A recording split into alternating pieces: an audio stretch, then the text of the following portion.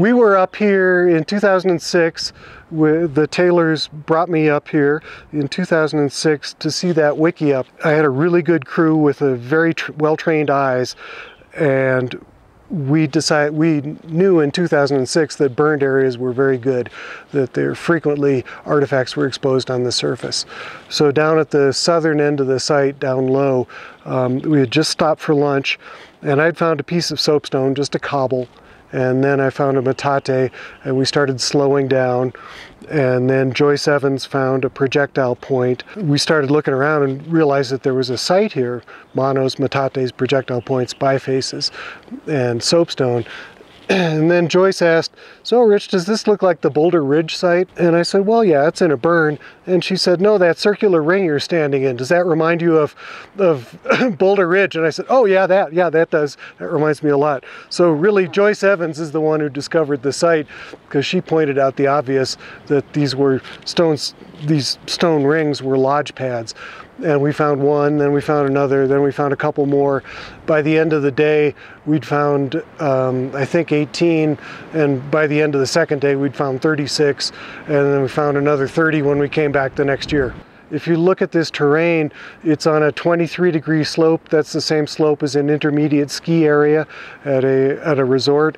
Um, it's rocky. It's just, you wouldn't, no one in their right mind would camp here, right? You know, it's just not conducive to, to the way white people camp now. But in the past, I suspect there was at least 30 centimeters of pine duff covering everything before this burned and it was a much nicer spot. The draw here is that it's a perfect combination of resources. Um, we're in the middle of a white bark pine forest that covers about 100 hectares, so that's about 240 acres. Um, and we're right on the edge of the sheep migration corridor. There are sheep here and there are white bark pines here and white bark pines have the second largest pine nut of all the North American pines. I calculated that there were enough pine nuts on a good year to feed a whole village of 100 people, feed them half the calories for an entire winter if you harvested this whole area, if you harvested all the trees here. You could easily do that. In this area we have found squirrel caches with several thousand white unopened white bark pine cones in them one of those squirrel caches has got the caloric equivalent of an antelope. And yet you didn't have to go chase it down. You didn't have to go kill it with the, the old sharp rock on the end of a stick. All you had to do was sit there and crack open the cones.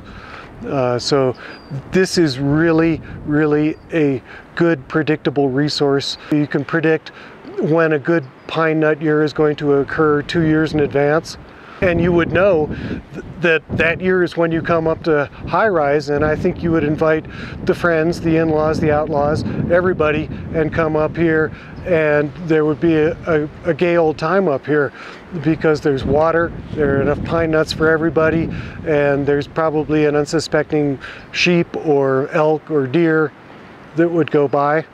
The cool thing about white bark pine cones is that they stay on the trees and they don't open, unlike a pinyon, which opens and all the seeds drop and you have to be there or you get outcompeted by squirrels and jays. Here, the, the, pine cone, the pine nuts stay inside the cones until the cones are broken.